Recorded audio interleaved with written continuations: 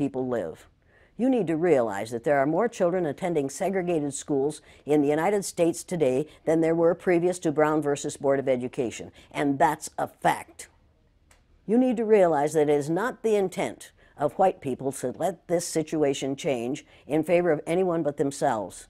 And right now, white people are really frightened. If you don't understand the destruction of Planned Parenthood uh, offices, and you don't understand the wall that we're going to build on the southern border of the United States, you haven't read the book The Birth Dearth by Ben Wattenberg.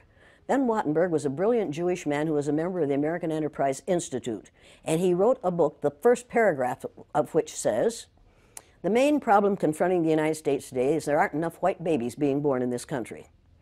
He was an advisor to presidents of the United States. He wrote the book in 1987. He says there are, if we don't change this and change it rapidly, white people will lose their numerical majority in this country and this will no longer be a white man's land. Now, I'm not misrepresenting, misrepresenting this. I'm telling you exactly, almost exactly what he says. He says there are three things we can do to solve this. Number one, we could pay women to have babies, as they have been doing in Western European nations for years. Then he says, and these are his words, not mine, unfortunately, we would have to pay women of all colors to have babies, so we don't want to do that. He says the second thing we could do is increase the number of legal immigrants that are allowed into this country every year. Then once again he says, unfortunately, the vast majority of those wanting to come to this country today are people of color, so we don't want to do that. The third thing he says, and white men, women had better pay attention to this, 60% of the fetuses that are aborted every year are white. If we could keep that 60% alive, that would solve our birth dearth. Does that sound like racism to you? And if it doesn't, I want to know why it doesn't. If it doesn't, you don't understand what racism is. And I think it does. When we close Planned Parenthood clinics because we think they're there only for abortion, we need to take another look. They are used for many, many, many things, and many women need the things that they can get from Planned Parenthood clinics. But we are willing to do away with all that good to avoid allowing white women to have control of their own bodies. Now, nobody had better tell one of my daughters or granddaughters what they can do with their body. You haven't that right. Now, it would be interesting if we were as concerned about sperm cells, wouldn't it? Um, I mean, we could take a whole lot of fun out of you boys' lives. Right. Uh, a, a, lot of people um, don't understand the trauma associated with race and racism.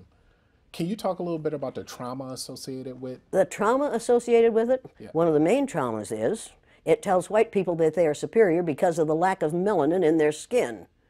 And then they find out suddenly that we've got a black president. That's traumatic. That's where the trauma is. Living a lie, finding out the truth is traumatic. Finding out now, recently, that within 30 years, white people will be in the numerical minority in this country is going to be traumatic. And that's the reason we have to solve this problem and we have to solve it now. I will ask folks tonight, how many of you black folks want to get even with all white people?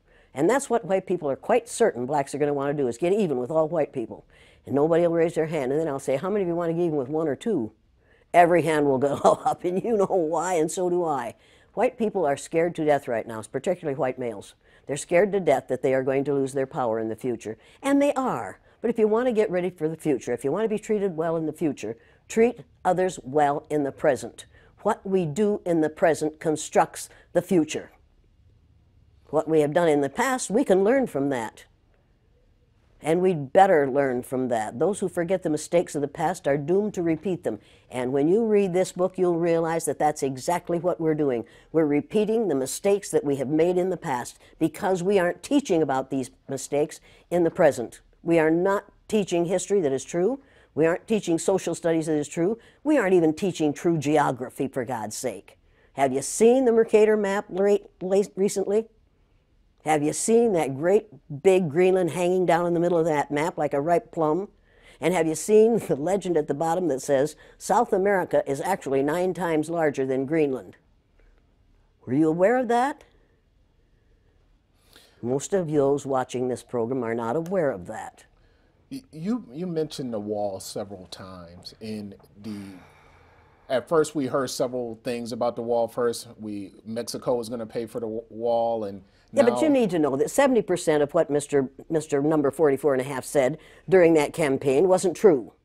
And the wall business wasn't true either. If his mouth is moving, his lips are moving, he's probably lying. You know that as well as I do. He doesn't intend to build a wall. We can't afford to build that wall. We have no business building that wall. We would be keeping Americans out of America. What's your question? The question on the wall is there's, you know, when you talk to people about the wall, uh, certain people about the wall, there's certain people for it, certain people against it. The people who are for it, what, what's their mindset? They're scared. They're afraid those people, those immigrants, are going to come over here and take their jobs. Let me tell you something. You can build a wall, you can build a wall 50 feet tall, and smart Hispanics, Latinos, smart Ecuadorians, smart others are going to tunnel under that wall and come up in their friend's house on the other side. You can build walls until hell freezes over. You will not keep that immigration from happening, and you'd better hope we don't keep that immigration from, from happening. We need those people. Do you know what will happen to the economy of this country if we take all the people who are brown skinned immigrants out of this country, if we send them back? Do you know what will happen to our economy? Do you know what will happen to farming in California? Do you know what will happen to the price of your fruit? Do you know how hard it will be to get a good avocado? Do you have any idea what will happen to this country's economy if all those brown skinned people go back to Mexico? I don't think we do. I don't think people have thought about that because they are being taught not to think. They are using a language, right now, we are using a language that includes words like extremism and ugly language about people who are different from ourselves. People are listening to those words. They aren't listening to the philosophy behind them. They aren't listening to core principles which this person has none of. Now, um, couple, just a couple more questions. Um, when we hear, uh, when I when I hear people say that they're not racist and and and things like that, and we talk about building racial harmony in this country, I don't think I see it in my lifetime. Can you predict in the near future or far future when we will ever have uh, racial harmony? Oh in yeah, in 30 years, white people will have will have found out that they have no no no choice but to get along with those who are different from themselves. I'm not willing. I'd love to wait, but I can't. At my age, I'm not going to be here in 30 years. But we could change this situation if we chose to. During the, during the Second World War, we called the Japanese, and you'll pardon me, but this is what we called them: slant-eyed little yellow. Mm -hmm. We didn't say that about the Germans. After the war, we rebuilt Germany and Japan, and we get along beautifully with the Japanese. That was in 1945 that we finally won that war. How, ma how many years ago was that? Figure that out quickly. I'm not a math person, but you're not a math time. person, but you know it wasn't that far, right. and it didn't take 50 years for us to to have peace with the Japanese and the Germans. Even though, even though we dropped two atomic bombs on Japan. The Japanese hadn't killed 10 million people.